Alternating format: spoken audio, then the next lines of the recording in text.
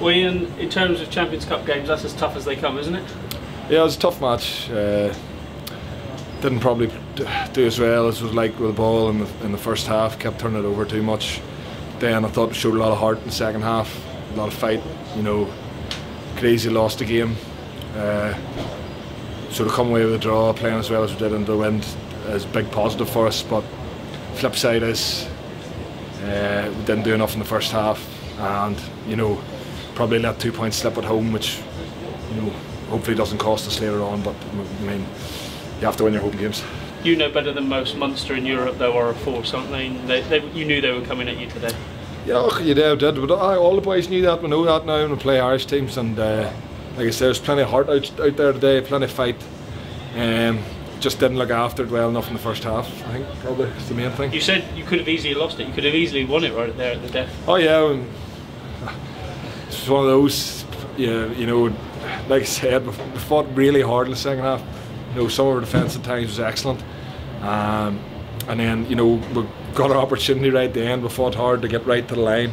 Actually, had a couple of opportunities in the second half to get up there, which was which was good playing into that, but didn't take it unfortunately. You've been six from six in the Premiership, but how much of a step up is Europe?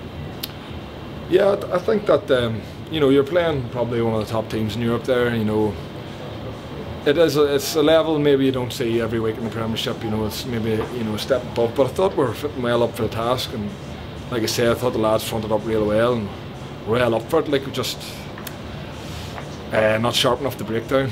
Obviously, on to next week though. No real dramas. It's a draw at the end of the day. But Castres next week, French no, champions. No, we're, we're well in it. Like you know, we're well in it. It's not a disaster by any means that today, but. Um, you know, important we get something next week and get well recovered, go there, you know, show the same fighting heart did today and, and you know, hopefully put something together that wee bit sharper and, and, get a couple of scores and maybe get away with it. More recently you've won in France as well, you've won in Bordeaux, you've won in Montpellier, you know how to go and win over there. Yeah, but we know how tough it is as well, having played Clermont a couple of times as well, so, you know, we've had good ones and we've had bad ones in France, so, you know what I mean, we've, this is a big game. Like uh, hopefully, if, you know, we know if we're front up and play our best stuff, we're more than capable of competing in France. And in Europe, how, how, how exciting is it for you as a player? You getting to play. It's almost like a test match level, isn't it? Uh, yeah, there's you know, those are like Rob said. Those are the games you remember. I, I remember that one playing them. You know, tough team. You know, don't let you have anything. You have to fight and scrap. And I enjoyed that today. You know, you enjoy those games, the ones you have to fight really hard in, and you know like I said, unfortunately, didn't get the result, but um, yeah, you remember you remember the big occasions like this. You've been here a while now. How much is the target for Europe for you guys this season? You've talked a lot about wanting to impress and go further in this competition. Is it a big target for you as players? Uh, yeah, I think the attitude's changed from when I first got here. Where it was, you know, we're happy to be in it, like happy to have got top six. We give it a real go. The more being like, you know, we're here now. You know, let's look to push on and think getting out of the group is a big goal for us. Um, probably not the start we were looking for, but five games to go. You know, we'll, we'll be attacking every one of those games. Finally, Rob said the toss was crucial today, and it, it, took you 20 minutes to really get into the game, and that was probably half of the first half, which, which cost you really.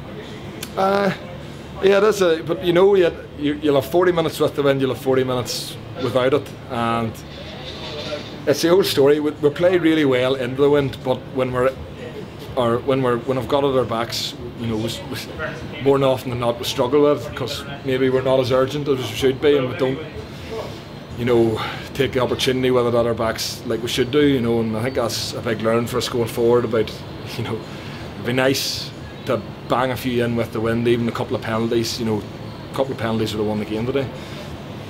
Brilliant.